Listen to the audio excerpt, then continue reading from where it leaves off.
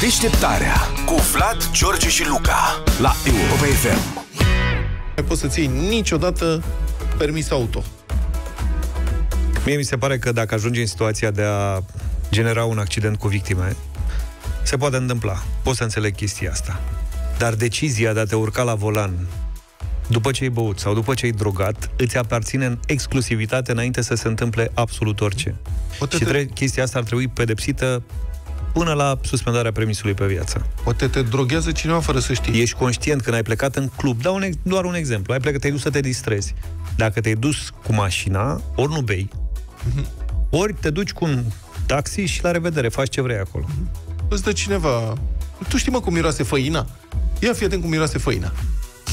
Nu există asta. Chestiile astea accidente. Eu nu cred în ele, în accidente de genul ăsta. N-am știut ce am luat. Sigur, glumesc. În perioada 1 ianuarie 30 iunie 2022 au fost depistați sub influența substanțelor psihoactive 1294 de șoferi. Acum eu nu înțeleg dacă este vorba de testele alea rapide care dau o grămadă de Cel erori mai sau probabil. astea sunt datele finale uh, confirmate de Institutul de Medicină Legală prin analize de sânge, care sunt alea corecte. Și de asemenea 13.509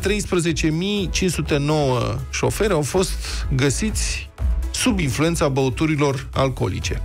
Și acum urmează votul decisiv la Camera Deputaților. Când o fi asta, nu știm.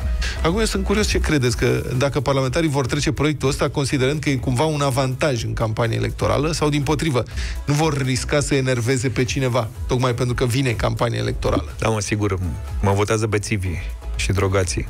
Băi, știi ce se întâmplă ani Ai, și ani așa de poți să zile? gândești?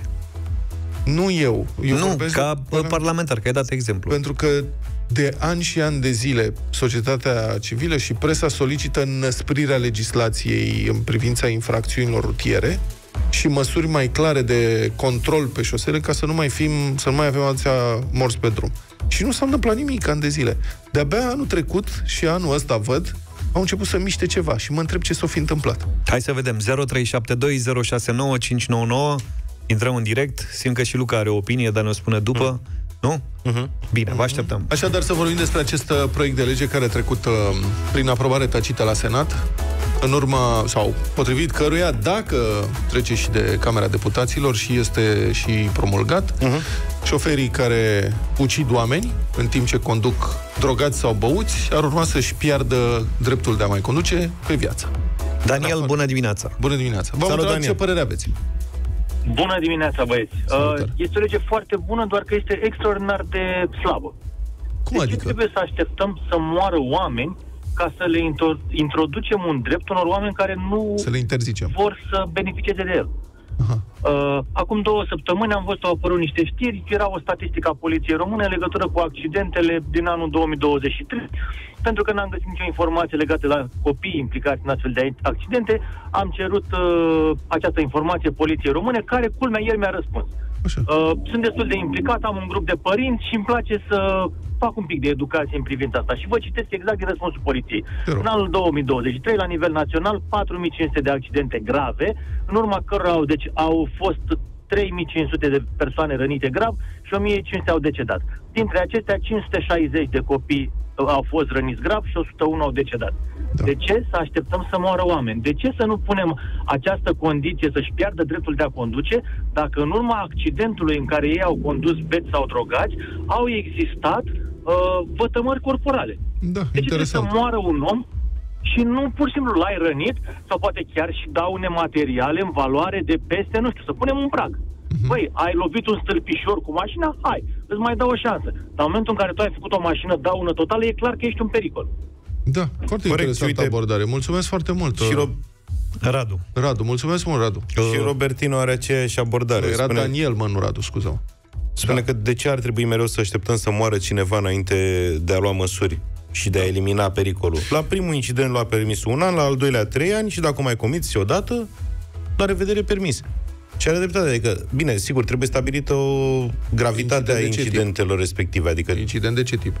a, cred că se referă la accident. Dacă faci accident din vina ta, o dată, de două ori, de trei ori, în urma căruia nu neapărat moare cineva, dar cineva este rănit sau produci pagube materiale, dacă faci trei astfel de accidente, la revedere, înseamnă că nu-i de tine condusul și eu sunt cu totul de acord cu chestia asta. Aici cred că e de discutat. Dar sunt... Dacă provoci trei accidente cu pagube sau victime, nu neapărat cu deces, dar cu pers- vătămări corporale, uh-huh. nu e un semnal de alarmă? Adică nu ți se pare că e ceva neregulă? De ce ar trebui să mai conduci? Ba da, dar Plus că nu, mi- nu înțeleg de ce trebuie neapărat să conducă toată lumea. Adică ai unii ca și cum e un drept altă extremă. vital. Domne, dacă nu-l mai lasă să conducă, săracul moare. Adică, Da, hai să ne limităm la discuția despre victime sau răniri omenești, nu despre pagube materiale. ok. Chiar și Radu, bună dimineața! Bună dimineața, Bună. băieți. Salut. Consider că legea ar trebui îmbunătățită, adică, ok, ești drogat, ai băut, ai omorât un om, nu ai dreptul să conduci, ți, ți se ridică carnetul în România pe viață, dar atenție foarte mare ar trebui adăugat că nu ai dreptul să conduci în România cu niciun fel de alt carnet pe care tu l-ai obținut în altă țară. Practic, ridicarea dreptului de a conduce vehicule. Asta e un detaliu, da. Nici la asta nu m-am gândit. Da, e un detaliu, dar e un detaliu important. Sunt destui români care au multiple carnete. da. Foarte tare. Mergi în Bulgaria, Mulțumesc. la Sofia, îți iei carnet și ai rezolvat problema. Mulțumesc pentru intervenție, Radu. Foarte tare, Bogdan zice, pe viață poate e cam mult, dar 15-20 de ani fără permis ar fi ok. Salut, Cristi! Salut! Bună dimineața! Bună. Uh, Eu vă zic sincer, eu conduc zilnic 400-500 de kilometri și mie mi se pare super ok această lege, dar nu acum, cum a spus uh, primul antreprenor, nu acum ar trebui pusă. De ce trebuie să așteptăm ca să, să, să moară atâția oameni și atâția copii? Eu uh, sunt tata a trei copii și, sincer, în fiecare dimineață când plec de acasă, nu știu, nu-mi pot da seama dacă mă întorc sau nu, pentru că când merg pe drum trebuie să am grijă de alții, că cum conduc și ce fac. Sincer, am văzut de multe ori și multe accidente am văzut uh, pe drum care au fost uh, din, m, făcute din uh, cauza oamenilor care erau sub uh, ori din droguri, ori alcool. Da. Și Nu mi se pare, mi se pare ca legea asta să fie cât mai repede adoptată și indiferent dacă, dacă ai băut și ai, ce știu eu, 0,20 sau ceva, nu că ți ia permisul pentru 3 luni, măcar pentru un an, ca să învețe minte. Sau dacă ai băut, stai naibii acasă, ia un taxi, nu vă te pe drum. Mulțumesc, Cristi. Foarte uh, interesante observațiile și da, cred că ar putea fi introdusă și prevederea uh, care se referă la vătămări, la vătămarea, la răniri grave și se, se pot stabili praguri. Adică se calculează și acum în instanță, te duci și, uh, sau mă rog, se stabilesc în funcție de numărul de zile de îngrijiri medicale. Exact. Ovidiu, se bun. poate stabili un prag. Ovidiu, mai avem puțin. Neața. Bună dimineața! Ovidiu, Ovidiu? Nu-i nimic. cred că ne aude. Florin, bună dimineața! Salut, Florin! Bună dimineața, băieți! Pe scurt, te rog. Sunt de acord cu... Da, vă zic repede. Uh, uh, E adevărat ce zic noastră, suntem de acord cu toții să fie legea asta pe permisul pe viață. Adică sunt multe accidente. Dar vă zic și eu, spa- uh, și eu conduc 400-500 de km la zi. Uh, Mie mi s-a întâmplat odată să fie, mi-a ieșit un pieton în față și l-am lovit fără să vreau. Și n-am fost băut la volan și nici uh, drogat. Da. Și Da, acum din păcate, am multe tot- accidente, mulțumesc de intervenție, multe accidente sunt provocate de indisciplina pietonilor, e adevărat. Da, uite, o idee pentru doamnele și domnii deputați care poate sunt pe recepție, poate vă gândiți și la uh, răniri, la, nu doar la uh, uciderea celor care, sau uciderea de către șoferi băuți sau drogați, ci și la rănirea gravă a celor care sunt loviți de șoferi băuți uh, sau drogați. Deșteptarea cu Vlad, George și Luca la Europa FM.